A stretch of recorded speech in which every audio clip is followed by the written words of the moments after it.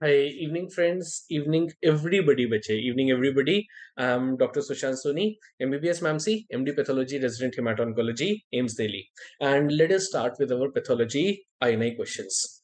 Now, I have about 14 to 15 questions in this session, and every question, I mean, except two, three questions, the questions are very simple and straightforward. So please keep on marking the answers or keep on telling me the answer in the comment box before I commit to the answer. This is the ideal way to do it. Even if you don't commit to the answer, I'm okay with it.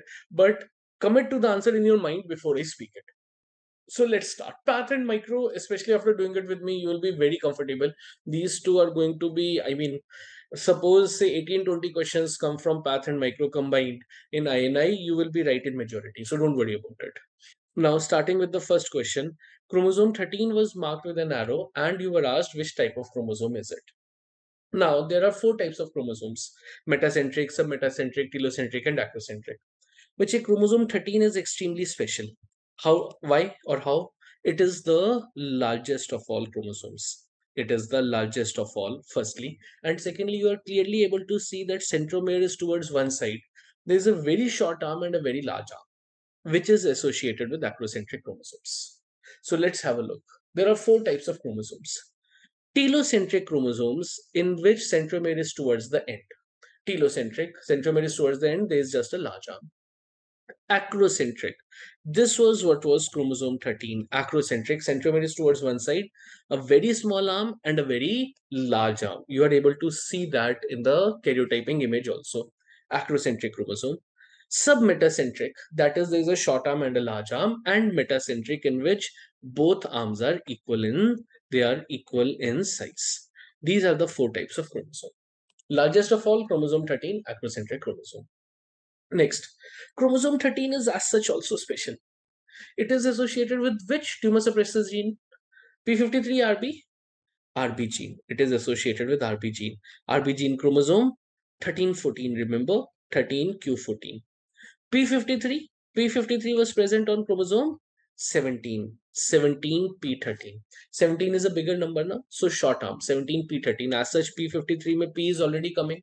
17P13, RB gene, chromosome 13, Q14. RB gene mutations. And next, it is associated with which malignancy? Guys, nobody knows this better than us. Breast cancer. Which familial breast cancer gene? BRCA2. BRCA2 gene mutations present on chromosome 13, BRCA2, versus BRCA1, which is present on chromosome 17. Again, important, an important slide. Next question. A five-year-old boy has bilateral proptosis and you're suspecting a chloroma. What will you do to confirm chloroma? Now, what is chloroma? Chloroma, it is presence of an extramedullary disease, an extramedullary hematological malignancy blood cancer which is outside the bone marrow which is outside the medulla extramedullary blood cancer. There are two main diseases two main blood cancers which are associated with chloromas.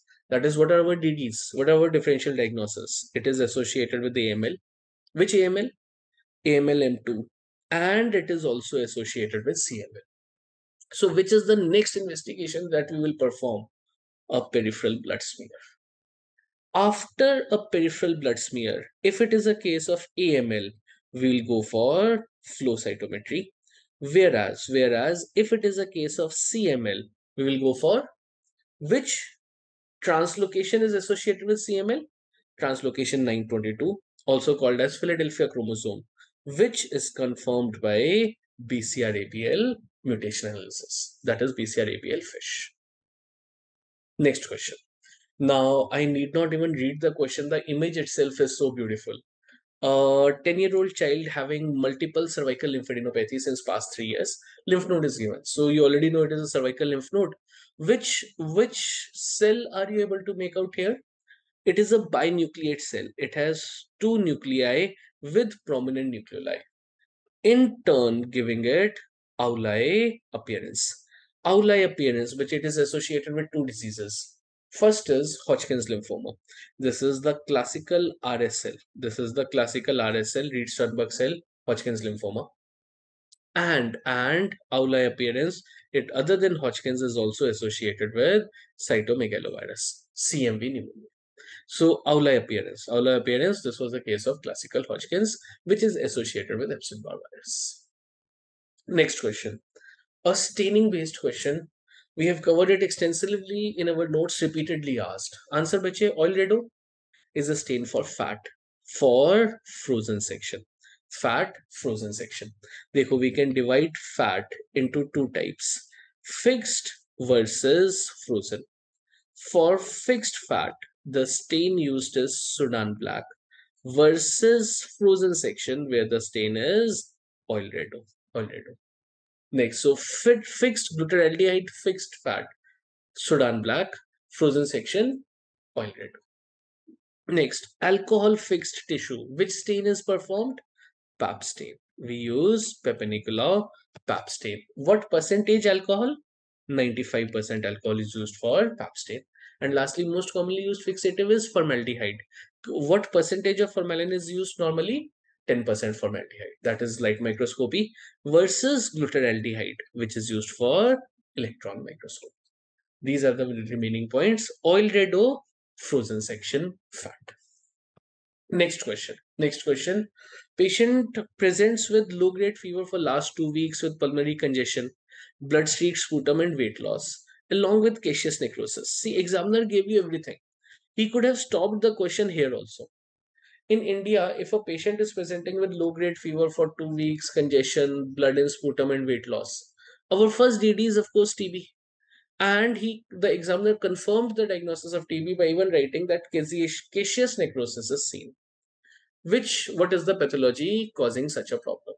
Caseous necrosis is type 4 hypersensitivity reaction. It is type 4 hypersensitivity and is associated with giant cells. What is the fancy name of giant cell seen in TB? Giant cell is a cell with multiple nuclei. In TB, the multiple nuclei, they are arranged at periphery, giving it a horseshoe-shaped appearance. Langhans giant cells. These are the Langhans. Langerhans giant cells seen in TB, horseshoe-shaped appearance. So that's all as well. Next question. In case of breast cancer, FISH is indicated, which we look at three markers for breast cancer ER, estrogen receptor, progesterone receptor, and HER2 neu. New. V likke thoda sa upar. It's a Greek alphabet. Alpha, beta, lambda, delta, new. HER2 neu. Or Herceptin receptor. Also called as ARB B2. Dekho, there are two breasts na. ErbB2. Receptor. FISH is performed for HER2 neu 2 plus positivity. This is a fact. Don't overthink on this at all. We look at three immunohistochemistry markers, three IHC markers for breast cancer. I'm sure would have been covered extensively in detail along with the classification and surgery also. You would have covered that breast cancer is of three types. ER positive, HER2 neu negative, HER2 neu positive, and triple negative breast cancer and triple negative. So it is of three types. Most common best prognosis, category 1. Least common worst prognosis, category 3. Most common familial gene with category 3, BRCA1, BRCA1 chromosome 17 versus ER positive, HER2 negative associated with BRCA2 chromosome 13. So recent PYQs only, breast is an important topic, which we saw that with respect to chromosome 13 also, you need to know this. Next question, very, very important. Antibodies associated with SLE. The minute anybody talks of anti-nuclear antibody, ANA, SLE. So let us quickly have a look at antibodies associated. Antibodies associated. Most common or the most sensitive antibody. Most common or most sensitive ANA, anti-nuclear antibody. There is no confusion in this at all. Confusion occurs with most specific, SA specific SA Smith. Most specific being anti-Smith, followed by anti-double stranded DNA, followed by anti-dsDNA antibody. Next, drug induced lupus antihistone antibody drug induced lupus antihistone antihistone antibody And lastly, lastly, neonatal lupus. Lastly, neonatal lupus with congenital heart block. Neonatal lupus with congenital heart block. Congenital heart block बच्चों में हो रहा है it is seen in children. What do kids do? रोला पाते हैं For the Hindi speaking, it is associated with anti-Rho slash LA, also called as anti-SSA slash SSB antibodies. These are the antibodies associated with SA. Most common or sensitive is ANA, specific Smith. S for specific, S for Smith, followed by anti-double stranded DNA antibody. Drug-induced, antihistone, neonatal lupus with congenital heart block, Ro slash LA. Rule Next, which of the following is an optional? Which are the opsonization agents which complement protein? C3b. C3b. Other opsonization agents are opsonization agents, they make the antigen tasty for phagocytosis. C3b. Mannose. What is present on bacterial cell wall that makes it tasty? Mannose. FC fragment of IgG. FC fragment of IgG, immunoglobulin G. CRP, C reactive protein, CRP, and fibrinogen. These are the opsonization agents. Versus, versus chemotactic agents, which complement protein. But whatever we will do in life, we will not go wrong in opsonization versus chemotactic agents. Which are the chemotactic agents? C3A, 3B, 5A, 5B, C5A. C3B is an opsonization agent. C5A is a chemotactic agent. C5A, interleukin 1, interleukin 8, TNF alpha, tumor necrosis factor alpha, and leukotriene B4. Out of these, most potent chemotactic agent being leukotriene B4, LTB4. Complement factor which is most potent chemotactic is C5. First class. Next question. Next question again extremely factual. Abnormal folding of proteins is associated with. The minute i see this i know that abnormal folding of proteins is associated with prion diseases. Let's suppose ye nahi bhi pata tha we were not aware of it. But yes sickle cell anemia is a point mutation. It is a point mutation. Nephritic syndrome is a whole range of diseases. Chediak-Higashi syndrome occurs because of mutations in LYST protein so remember, defect in phagolysosome formation due to mutations in LYST protein. It is not abnormal folding. Abnormal folding is Creutzfeldt-Jakob disease. It is a prion disease. There are four main prion diseases. So these are abnormal forms of cellular proteins, prions. What is the abnormal form? In prions, the normal alpha helix, the normal alpha helix changes to abnormal beta pleated sheets. It changes to changes to abnormal beta pleated sheets. Normal alpha helix changes to beta pleated. It is an abnormal protein. There are four main diseases associated, which are Creutzfeldt-Jakob disease, Gerstmann-Straussler-Scheinker syndrome, fatal familial insomnia, and Kuru disease. Just read this once. Most common, most common being Creutzfeldt-Jakob disease. Others are, I'll just speak them again, Gerstmann-Straussler-Scheinker syndrome, fatal familial insomnia, and just just see this table. You will not do this anywhere else, and no more details required also. But just the four diseases, which are the abnormal protein folding diseases. Next question: Herpes associated with gingivostomatitis. Easy. Above the waist is HSV1. Below the waist is HSV2 simple herpes simplex virus, HSV1, gingivostomatitis. So infections with HSV1, infections with HSV1, gingivostomatitis, where, where the most common recurrent lesion is herpes labialis, keratoconjunctivitis, eczema, and ocular involvement above the waist. Herpes 2 is below the waist, that is genital herpes, penis, urethra, cervix, vulva, vagina. Neonatal herpes, that is why cesarean section is performed in cases of HSV2 Vaginal delivery नहीं करते ना cesarean section to prevent neonatal herpes and aseptic meningitis. Herpes, so gingivostomatitis, herpes, HSV1, HSV1, simple.